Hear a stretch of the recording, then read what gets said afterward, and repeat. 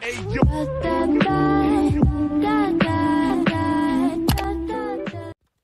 Hey everyone, it's Simplicity and welcome back to a new video. Today we have the postal mod where you can send mail to your Sims. So this is a new edition. It was posted on January 30th and I had it sent to me on Tumblr. But I haven't had the chance to sit down and make a video until today. So you can send a post to any Sim in town as long as they're a resident by stamps, envelopes, and packages. And it says that you can like send it from like the postal mailbox as well.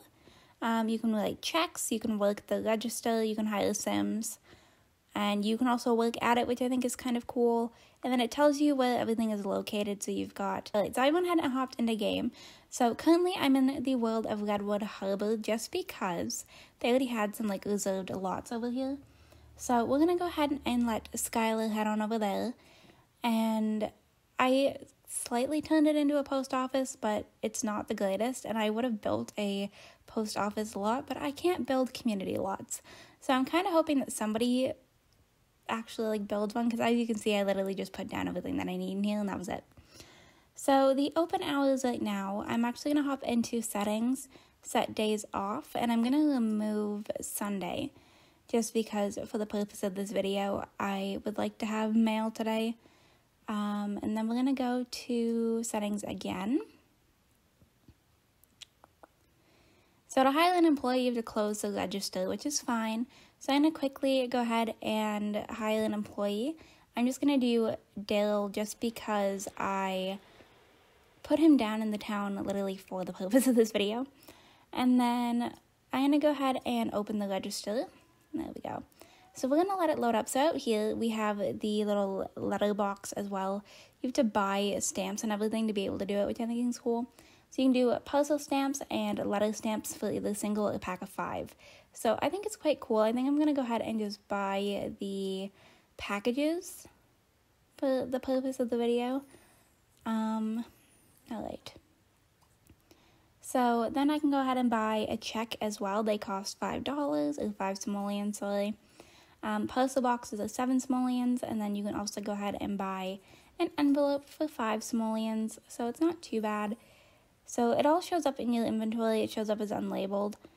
Um, it's all just Lily. Okay. I probably should have let the game load up. I apologize. That is completely my fault. So, really quickly, I've slightly played around with it just to kind of see how it worked before filming this, but I still don't really know a whole lot.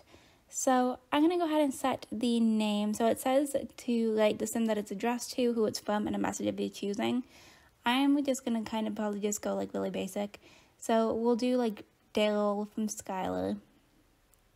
And then just say like hi. I don't know. Um, I don't really know what else to say. Because I don't know some shows. I would have probably tried to let it like that. So you have like letter packaging, which I think is cool. Um, we've got the packs here. This down here is the check. So I can go ahead and like address that to Daryl and then we can do a check amount. So let's say I was doing like child support, I just do like 500 simoleons, and we can actually cash the check, which I think is weird whenever it's addressed to somebody else, but it's fine. I'm gonna actually go ahead and see if I can do it this way. If I open the letter packaging and put the check inside of it, I don't know if this would still function. Um, buy some letter stamps first. Well, I have some but I kind of want to see how everything works. So let's go ahead. We'll buy a single one just for right now. And then we'll buy a postal stamp for the single one as well. Ooh, the different colors. Okay, that's kind of cool. So we have the stamps right here.